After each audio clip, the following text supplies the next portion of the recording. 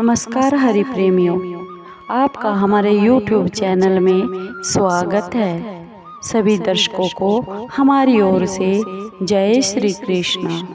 हरि प्रेमियों कैसे हैं आप? उम्मीद है आप सब अच्छे होंगे।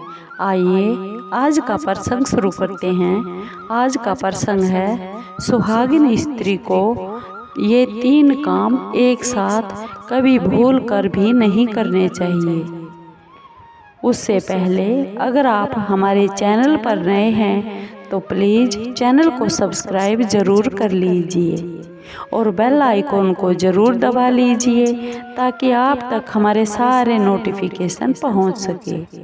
हरी प्रेमियों, आपका एक सब्सक्राइब भी हमारे लिए बेहद मायने रखता है। हरि प्रेमियों आइए जानते हैं वे कौन से तीन काम हैं जो एक सुहागन स्त्री को कभी भी एक साथ इकट्ठे नहीं करने चाहिए। हरि प्रेमियों ज्योतिष के अनुसार और शास्त्रों के अनुसार स्त्रियाँ आमतौर पर नहा लेती हैं और बाल भी धो लेती हैं। और अपना श्रृंगार भी कर लेती हैं, क्योंकि एक सुहागिन स्त्री का श्रृंगार बहुत ही ज़रूरी है। श्रृंगार के बिना सुहागिन स्त्री अधूरी है। अपने पति को प्रसन्न करने के लिए वह तरह तरह के श्रृंगार करती है।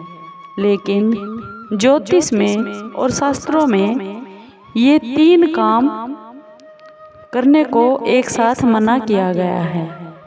एक तो बाल धोते हुए कभी भी स्नान नहीं करना चाहिए। अगर स्नान कर लेते हैं तो फिर वस्त्र ना धोए। अगर वस्त्र धोते हैं तो आप स्नान कर सकते हैं या फिर बाल धो सकते हैं।